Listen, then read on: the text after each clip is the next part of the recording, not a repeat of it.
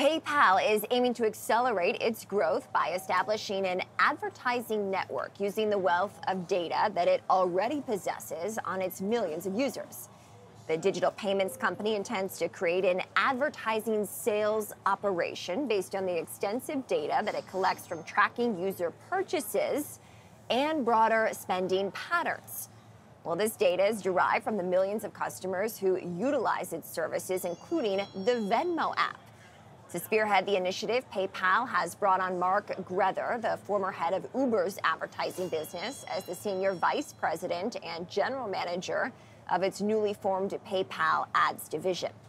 Well, in January, PayPal rolled out its first ad product, Enhanced Offerings, which does leverage AI and the company's data to assist merchants in targeting PayPal users with tailored discounts and promotions. What do you think, Dave? I think an initial reaction is that makes me very uncomfortable, but if you're not comfortable with it, you gotta get familiar with opting out. They are collecting troves of data on all of us, and at some point we knew they were going to monetize it.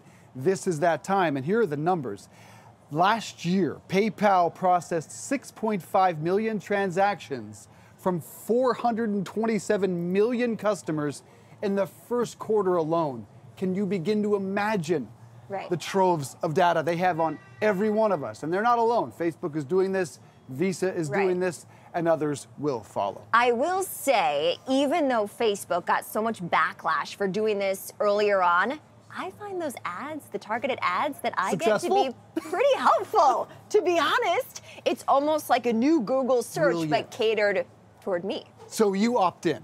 You're okay I do with opt, sharing I do opt in on Facebook. I think you have to think about each platform, whether or not you trust it, who's running the company, could it change hands? There are so many what ifs. Uh, this is obviously a, a nascent experiment yeah. or strategy that is for PayPal.